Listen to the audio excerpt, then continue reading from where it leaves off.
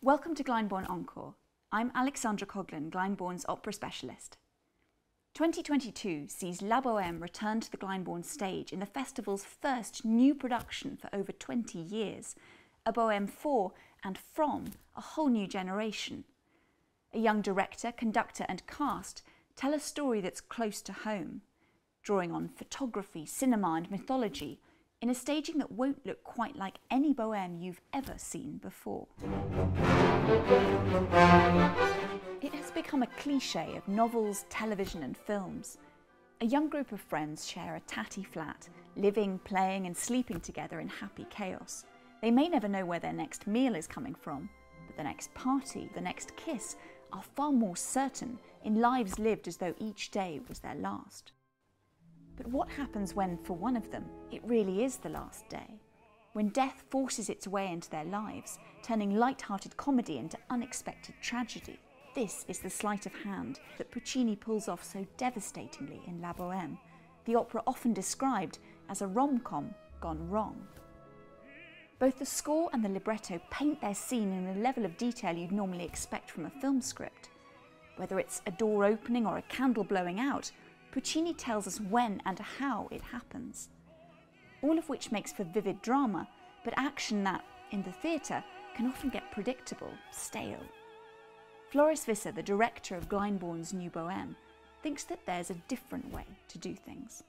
Well, there's several traps, so to say, when you do Puccini. I think one of the traps is indeed the literalness that he, he describes in all his libretti. So that was one of the big red flags, so to say, that we as a team said to ourselves, we wanted to do something more profound. Our art form, theatre, art in general, of course, is also there to show the metaphysical side of things. The other red flag with Puccini is people call it often very sentimental. Big rallentandi, a lot of rubato and ritenuto, but that is not what is there in the score. You scrap all that away, then you actually see an extremely modern and fresh and contemporary composer. So when you scraped it right back to the bones of the score, all the kind of traditions of interpretation were away. What was your starting point? Where did you go from there?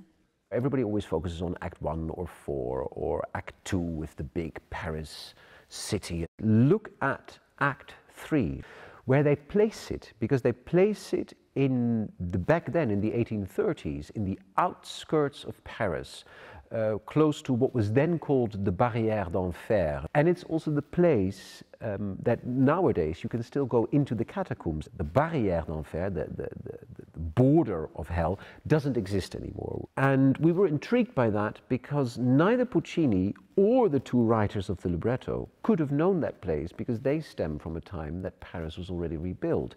We had a very big gut feeling that what Puccini, Illica and Giacosa were referring to had a much bigger symbolism. The other big thing for me was to escape the literalness, not to place it in the three different images. Normally, Act One is the studio of the boys, then Act Two, we're on the streets with Momus and the bars and the cafes of Paris. Act Three, then you see something of sometimes the gate of Paris, or you see a lot of snow mostly.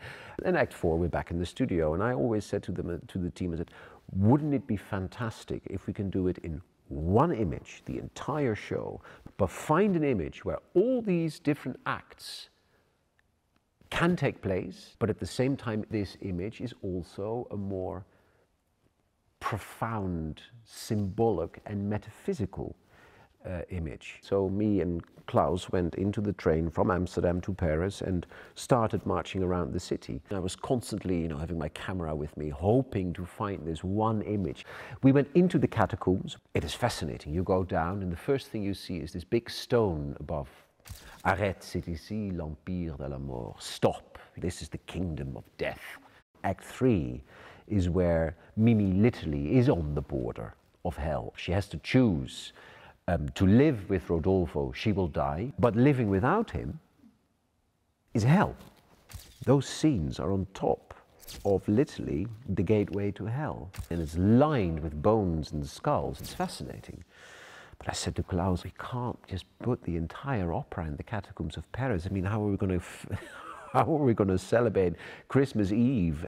And then I was actually ready to admit defeat. And I looked to my left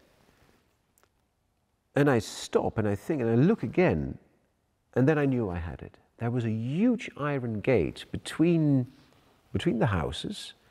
Um, it was a very narrow alley, actually, only cobblestones with two sidewalks, two pavements on each side, perfectly symmetrical. And I saw people walk over it and dis- go up and disappear. I look up onto what the name of the street is, the, the street sign.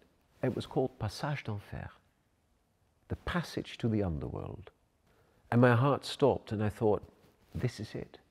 We've got my one image. And I immediately had to think of a film we had already discussed, Meet Joe Black, where Brad Pitt famously plays death and comes amongst all of us, the people, and, and learns about love, life, and makes love for the first time, which is the most beautiful love scene I've ever seen.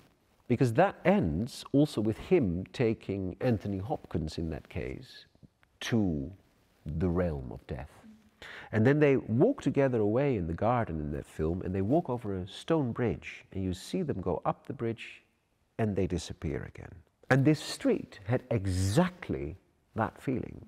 And in your production, we will literally see death as well, won't we? You're introducing him as a character. When I'm directing death, I have to say, just think often just, wow, fascinating. We're all so familiar with Paris through whether it's paintings or films or photographs. I know for you it's a very specific set of images that were the starting point for this production. Uh, will you show me? Yes, please. So it actually started first with this book called Paris, Mon Amour. The photo it all started with was this by um, Sabine Weiss from 1953.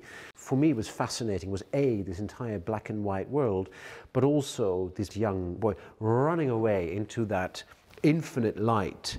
I saw Rodolfo running after Mimi, who is just dissolved into paradise or the heavens or the afterlife. The fascinating thing is, it was all there in that one photo that I loved so much. If you go to that street now, it's the only street left in Paris from before Baron Haussmann, before this big turnover of Paris. So this is the only street left in Paris of the time of the book where Mimi, Rodolfo, Musetta, Marcello could have really walked on. And I think another absolutely wonderful photo, which we've also really incorporated in the production, is this one by Brassai, which is called uh, Couple, Couple. And um, these chairs that you actually see are the chairs of which we, I think we've got 60 of them in the, in the production. And this was a very famous photo by uh, Dennis Stock. It's called uh, Café de, de Flore where you see the terrace furniture stucked up in big rows outside each bar and cafe. And I thought it wouldn't be wonderful to have an old wall with just the chairs of a cafe. And I always thought it wouldn't be wonderful that Act Two just starts with this huge choreography, this exciting choreo choreography of the chorus together with the waiters taking all these chairs off and building Momus on the streets as we know it. And also here you can see this couple making love there, kissing. This is more Musetta and Marcello. And that was also the moment that I knew it needed to become a very monochrome, black and white show, that the set needed to be black and white, that the costumes needed to be black and white, but then only as an element that sometimes is more profound or symbolic, that we would introduce the color red or the color pink. It's, it's a little bit like uh, Schindler's List from Spielberg. It's a black and white film, but you only have that girl there in the pink, reddish coat coming through. So it's this wonderful black and white world that played a huge role in uh, my thinking, but also in us designing as a team the entire for, for the entire production. And it's interesting, common to all these photos, these aren't spaces that anyone owns, are they? No. They are more than just a person in a space. They all become symbols and metaphors. And that is the way I think you need to attack Puccini because he's not only literal, he is a huge admirer of Wagner. They go into poetry um, um, and the metaphysical idea of what love is. Um, it's the same of all the, the music in Act 3. There is not a text or not a melody that doesn't go to the core of what human beings and life are about. Um, and I think that people often forget. We, we see it as a film script, Yeah. and we don't see it as a much bigger, richer work of art. Puccini's doomed romance between a passionate, idealistic boy and the girl next door feels very familiar to all of us raised on big screen Hollywood dramas. A musical cousin to Brief Encounter, Love Story, or The Notebook. But for the composer's own audience, it represented something new and shocking. Comedy was one thing, but when it came to tragedy, the opera house was home to kings and queens, knights, generals, and sorceresses. What could a seamstress and her struggling poet lover possibly have to say to one another in this elaborate musical language? The answer, it turns out, is plenty. In La Boheme, he created a new operatic language. This is a tragedy that doesn't know it's a tragedy, whose characters chat and tease and stumble down the stairs, fight and flirt as casually as any people going about their daily lives. Real life, but more so, where repartee is quicker, love more intense, and loss overwhelming.